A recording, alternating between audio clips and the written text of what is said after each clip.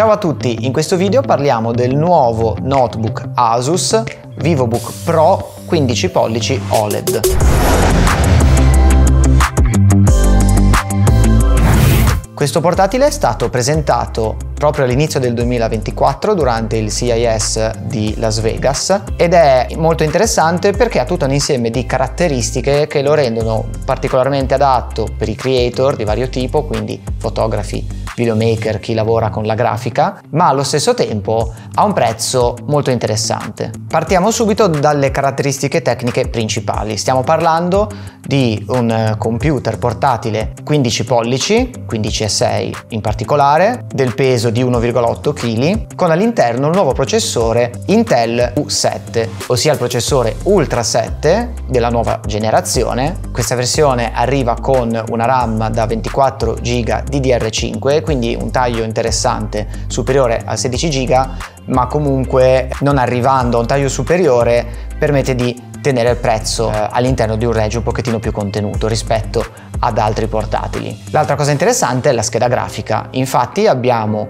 un Nvidia GeForce RTX 4060, quindi con 8 GB di RAM DDR6, quindi una scheda grafica che per chi lavora comincia a essere una soluzione eh, piuttosto interessante e eh, veloce. Per quanto riguarda lo schermo abbiamo un pannello OLED 3K, quindi una risoluzione nello specifico di 2880 x 1620, 16 noni e con un refresh rate di 120 Hz. È una soluzione anche qui interessante perché su un portatile sicuramente non abbiamo bisogno di risoluzioni altissime, soprattutto su un 15 15 pollici, ma è comunque superiore a un Full HD, quindi ci dà un'ottima qualità, soprattutto è molto importante il fatto che sia un OLED. Una delle tante cose che fa capire che questo computer è studiato per chi eh, lavora, diciamo in generale, con la creatività, quindi con la fotografia, con il video, con la grafica, è anche il fatto che il pannello supporta il 100% dello spazio colore sRGB, Adobe RGB, ma soprattutto dello standard DCI P3. Quindi da questo punto di vista copre tutti i vari casi di utilizzo. È un pannello lucido, quindi questa è una considerazione da fare nel caso lavoriate molto in ambiente molto illuminato o all'esterno è anche molto luminoso. Altra cosa molto interessante e molto utile soprattutto perché lavora con determinati software come possono essere i software di modellazione 3D come Blender o Unreal Engine è proprio la presenza del tastierino numerico perché questi software utilizzano tantissimo il tastierino numerico e quando si lavora spesso sui portatili eh, si fa molta fatica a eh, utilizzarli alla stessa velocità. E il fatto che ci sia a disposizione un tastierino numerico su un 15 pollici, per quanto mi riguarda, è sicuramente una cosa molto positiva. La tastiera comunque si utilizza molto bene, è abbastanza silenziosa, ovviamente c'è la retroilluminazione regolabile e anche dal punto di vista dell'audio si sente veramente molto bene anche con dei bassi molto eh, intensi. Un altro elemento che per quanto mi riguarda rende evidente il fatto che questo computer è stato pensato per chi lavora con eh, diciamo in generale contenuti digitali sono le varie porte, quindi le varie uscite.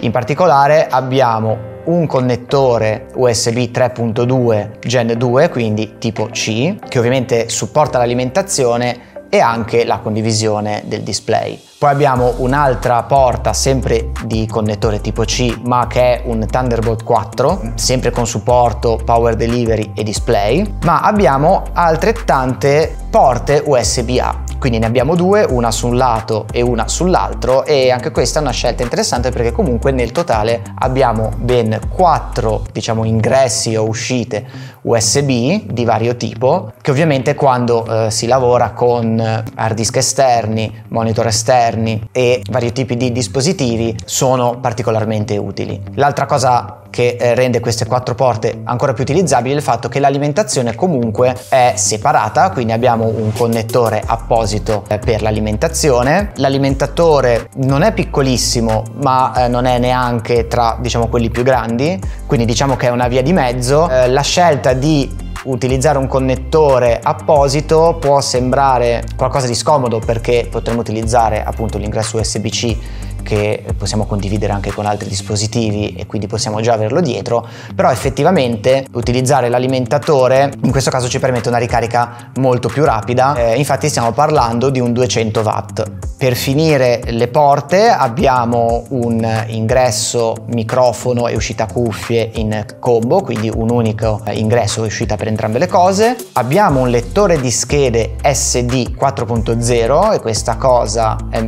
per me fondamentale lavorando molto in mobilità con foto, video eccetera, il fatto di non doversi portare dietro dei convertitori, degli adattatori perché di fatto abbiamo l'SD standard grande e più tutti i vari tipi di USB e Thunderbolt disponibili eh, è veramente una comodità che in un portatile da lavoro per me è fondamentale. Ovviamente abbiamo l'uscita HDMI e altra cosa molto interessante abbiamo anche un connettore Ethernet gigabit quindi di fatto una presa di rete che possiamo utilizzare eh, senza ulteriori adattatori. Naturalmente abbiamo la webcam che ha anche lo sportellino per eh, la privacy, quindi per la chiusura dell'obiettivo quando non lo stiamo utilizzando. Ci sono tutta una serie poi di impostazioni che si possono mettere anche tramite l'apposita app eh, preinstallata Asus per il risparmio energetico, ce ne sono veramente tante. La batteria eh, chiaramente dura diverse ore, ma eh, sulla batteria dipende sempre un po' dall'uso che ne facciamo, quindi diciamo che se utilizzate in maniera eh, normale il portatile per la scrittura, la navigazione, la, la visione di foto, video eccetera dura parecchie ore, devo ancora testarla per quanto riguarda l'utilizzo a batteria tramite software più potenti come potrebbe essere Premiere